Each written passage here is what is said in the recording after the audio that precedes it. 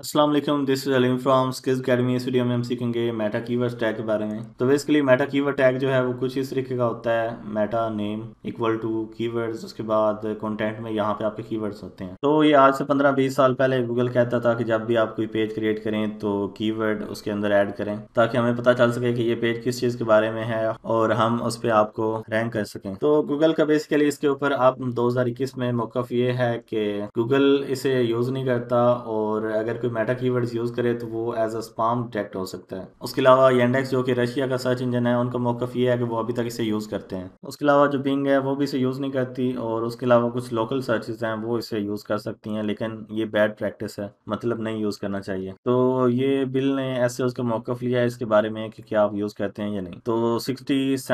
ने कहा कि वो इसे यूज़ नहीं करते और फिफ्टीन ने कहा कि वो इसे यूज़ करते हैं तो वीडियो देखने का शुक्रिया उम्मीद है आपको न्यूज़ चीज़ें सीखने को मिली होंगी अल्लाह हाफिज़